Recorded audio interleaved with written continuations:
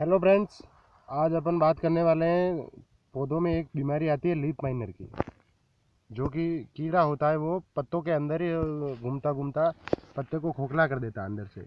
तो इसके लिए कौन सी दवाई डालें, क्या प्रयोग मिले तो सबसे पहले तो ये समझना है कि बीमारी आपके पौधे में लिप माइनर की लग रही है या नहीं लग रही लिप माइनर का पता ऐसे चलेगा, देखिए ये ऐसे इस तरह के छेद बना देता है, छेद नहीं करता है, अंदर ही अंदर, पत्ते के अंदर ही अंदर काट देता है।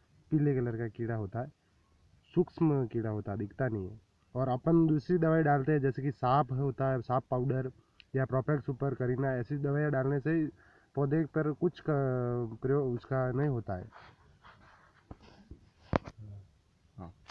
हमारे ये तरोई का पौधा है ये लिप माइनर की बीमारी टमाटर करेला या बेल वाली फ़सल होती है लौकी इनमें भी आती है तो इन सब में ये अब्बासिन नाम से एक दवाई आती है। ये देखिए इसका फ़ोटो है। तो ये हम पिछले चार या पाँच साल से प्रयोग में ले रहे हैं तरोई लगा रहे हैं, चार पाँच साल से। तो लिप माइनर की सबसे अच्छी दवाई यही है, हमारे प्रयोग में ली हुई। तो आप भी इसका यूज़ कर सकते हो, साढ़े चार सौ रुपये की आती है। आठ टंकी की दवाई आती है छः या आठ टंकी आपके हिसाब से डाल सकते हो आप थोड़ा बहुत। अगर लिप माइनर ज़्यादा है तो क्वांटिटी थोड़ी ज़्यादा भी कर सकते हैं अपन। तो लिप माइनर के लिए सबसे अच्छी दवाई है अब्बा से